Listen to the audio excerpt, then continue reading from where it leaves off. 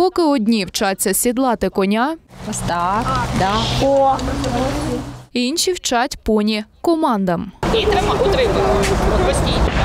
До кінного табору Дніпра з Києва приїхала Христина. Дівчинка каже, мріяла відвідати наше місто та опанувати верхову їзду. Утім, ділиться спершу боялася коней, а вже потім зрозуміла тварини добрі та лагідні. Я була щаслива з ними. Я себе тут почуваю емоційно просто прекрасно. Я коли чищу коней там обнімаю їх, я взагалі про все забуваю і просто думаю тільки про коней і про те, що я їх люблю.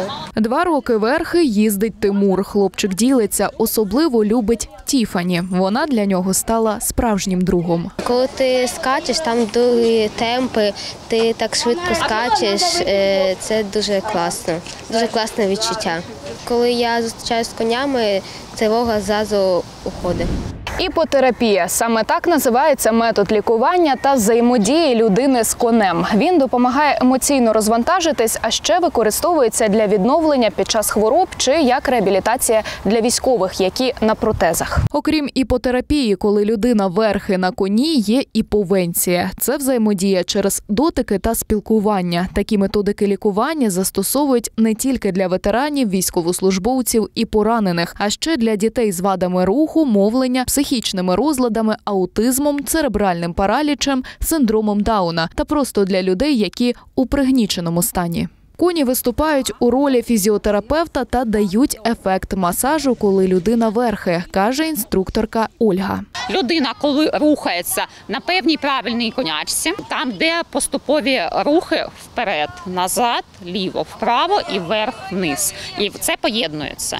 І це дає ефект розслаблення на тіло, тобто знімається спастика. Це науково вже підтверджено. Також дуже стимулює стимулюється кора мозку. Ольга ділиться найбільше копитні допомагають бійцям, у яких ампутовані нижні кінцівки, бо ж коні дають відчуття ходьби. Коли сідаєш а, і налаштовуєшся на коня, а, ніби твої його чотири ноги стають твоїми.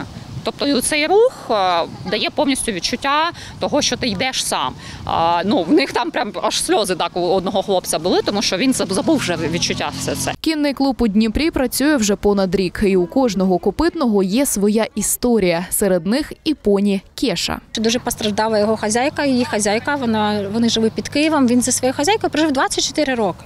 І в результаті цієї навали вони залишились без будинку, без стані. Загинули його друзі в нього на очах. Він пережив дуже багато, цей маленький коник.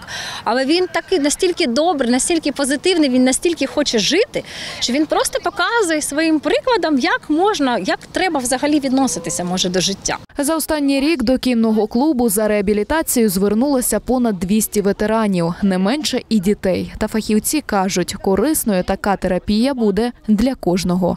Альбіна Гриненко, Руслан Герасименко, Open News, телеканал відкритий.